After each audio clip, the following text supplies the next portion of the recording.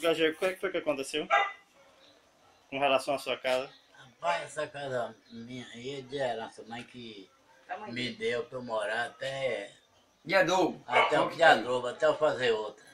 Mas deu com a chuvarada, a casa desabou. Eu dei a valência que eu dei ABC, mas teve um rapaz que me pegou ligeiro, me carregou. E Deus lhe ajudou que não, não teve. Não teve, não, mais difícil que eu vi na minha vida foi ela estar por cima de mim, entendeu?